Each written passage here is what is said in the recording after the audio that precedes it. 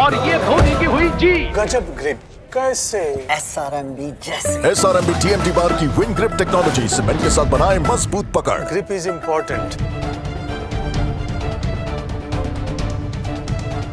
মঙ্গলবার ইস্টবেঙ্গল মাঠে কলকাতা ফুটবল লিগের সুপার সিক্সে মুখোমুখি হয়েছিল ইস্টবেঙ্গল ও সুরুচি সংঘ, যেখানে পাঁচ শূন্য গোলের ব্যবধানে জিতল লাল হলুদ ব্রিগেড। সুপার সিক্সে অপ্রতিরোধ ইস্টবেঙ্গল আমন সিকে জেসিনটিকে সায়ন ব্যানার্জিতে দুর্দান্ত ফর্ম ইস্টবেঙ্গলকে এগিয়ে নিয়ে যাচ্ছে কলকাতা লিগ জয়ের ক্ষেত্রে। এদিন প্রথমার্ধেই চারটি গোল করে ইস্টবেঙ্গল দ্বিতীয়ার্ধে ব্যবধান বাড়ায় লাল হলুদ brigade.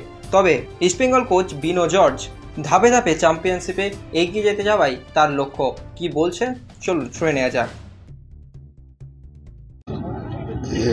big win okay, but uh, we are more matches is going on, no? So we are focusing on next match. So I congratulate my boys; they did good job. So they know the responsibility, they know the the winning moment. They they know. So I am happy. So still we are not और over confidence are are looking for next match मैं पहले पहले भी मैं इसी बात बोला ये referee is a power of the वो वही टीम का पूरा कंट्रोल कर रहा है। वो क्या बोलेगा तो हमको भी अगेंस्ट पेनाल्टी करेगा, हम लोग तो मानना पड़ेगा। तो I don't want to anything say anything about this so नहीं, मैं पहले भी बोला, हम लोग step by step match by match हम लोग जा रहे हैं। We next match Mohammad Sporting के साथ है। We on we are focusing on that match That's all. See we have I set we have we have each plan. We have the same, but the the style of play is the same. We are going to the attacking, attacking है हमारा style वही हम लोग चाह रहे हैं। Attacking में हम लोग को ज़्यादा गोल मिलते हैं। तो वही हम लोग फॉलो कर रहे हैं बस। तो फुटबॉल आपको पता है मैं कोई टीम को डिसरेस्पेक्ट नहीं करना चाहता हूँ। सभी टीम अच्छा है। हम लोग वो जीतेगा, पाँच गोल मारेगा, हम लोग छः महीनों के बोलने वाला नहीं है। मैच बाई मैच हम लोग जा रहे हैं, बस। दैट्स ऑल प्लेयर्स को हम लोग मेरे को भी मोटिव है प्लेयर्स को भी मोटिव है।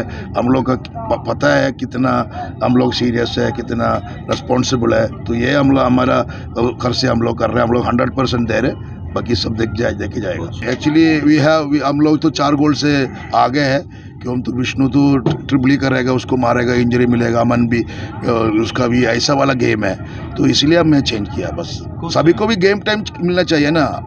आदित्य का परफॉर्मेंस क्या क्योंकि आदित्य आपको पता है Aditya is a good keeper so अभी उसको यही प्लेटफॉर्म मिल रहा है वो प्लेटफॉर्म में वो अच्छा कर रहा है। I am happy with this perform অন্যদিকে আশানুরূপ ফল করতে পারেনি সুরুচি সংঘ।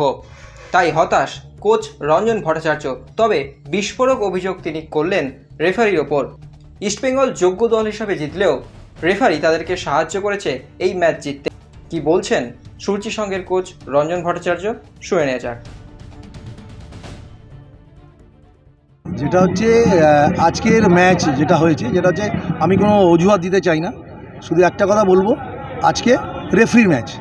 যা খেলা রেফরি খেলেছে, ওটা আপনারা বিজেতে আছে টিভিতে আছে, দেখে নেবেন ফার্স্ট গোল এবং থার্ড গোল ফার্স্ট গোল এবং থার্ড গোল দেখে নেবেন। একটা টিমকে যদি প্রথম দশ মিনিটের মধ্যে এইভাবে গোল খাইয়ে দেন, তো অটোমেটিক্যালি রেফরি রেফরি দায়িত্ব নিয়ে ম্যাচটা জিতিয়ে দিয়েছে। ইসবল এমনি যোগ্য- দল হিসাবে জিতেছে, এর মধ্যে কোনো ইয়ে নেই। আমার থেকে অনেক সুবিধা কারণ আমার যে টিম ছিল, সেগুলো টোটালটাই ভেঙে গেছে নকানা জেলা বেরিয়ে চলে গেছে, ওটা নিয়ে আমি ইয়ে নেই, ঠিক আছে? এখন একটা লড়াই করা করছি সঙ্গত। কিন্তু তার মধ্যে রেফরি যদি এই ধরনের মিস্টেক করে লাইন্সম্যানরা যদি এই ধরনের মিস্টেক করে কী করে খেলব? হ্যাঁ যা আবার তাই হয়েছে রেজাল্ট তারপরে আমরা বিকৃতভাবে যে চান্সগুলো পেয়েছি সেই চান্সগুলোও মিস করেছি। তো যার ফলে যেটা হবার তাই হয়েছে। তবে আজকে হচ্ছে রেফরি ম্যাচ খেললো রেফরি প্লেয়ারটা রেফরি তোমার একটা প্লেয়ার ইস্ট বেঙ্গলেই আসছে। তোমার একটা প্লেয়ার ইস্ট বেঙ্গলেই সাইন করছে এটা নিয়ে ময়দানে এখন গুঞ্জল চলছে এই বিষয়ে কি বলছে?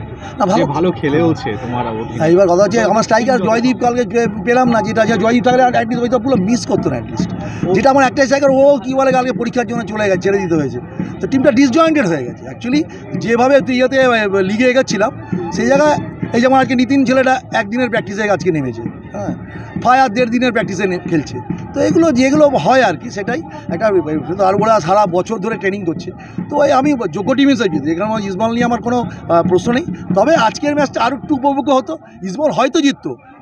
কিন্তু কথা হচ্ছে যে রেফারি অনেক ইজি করে দিয়েছে ম্যাচটা যার ফলে রুখে দাঁড়াবার মতো মানে তিন গোল অবধি রেফারি একদম টোটালি এবং ফার্স্ট গোল এবং থার্ড গোল আপনি দেখে নিন কী করে তাহলে লড়াই করব হয় নাকি? এটা কি বলা যায় ইস্ট বেঙ্গলের জয়ের নায়ক রেফারি হান্ড্রেড পার্সেন্ট আমি বলছি। আপনারা দেখে নিন দেখে নিন এইভাবে যদি একটা ছোটো টিমকে দুখানা গোল কি বলে একটা হলো না রিকভারি করা যায় ঠিক আছে? তারপর থার্ড গোলটাও তাই। তো দেখে নিন যখন জেসিন গোল করছে জেসিন ইয়েতে যখন বলটা চাটছে জেসিন অফসাইড পজিশন দেখে নিন না। আর এখান থেকে ফার্স্ট গোল আপনার দেখে নিন, টিভিতে ম্যাচটা আছে, দেখে নিন। রেফারি নায়ক, এই ম্যাচ যার জন্য আমার দাঁড়াতে দিইনি কোনো সময়। কিন্তু আমার কোনো সময় আমি পিছিয়ে পা হইনি। কী গোল হলো, না হলো, বলো আমি সবসময় চেষ্টা করে গেছি, আমার ছেলেরা গোলবে এবং সেকেন্ড হাফও শুরুতেও যদি যে দুটো চান্স সুযোগ পেয়েছিলাম, বলে একটু হয়তো লড়াই হতো। কিন্তু মিস করে গেছি। দিনের দিন, আজকে আমার দিন ছিল না। Extra time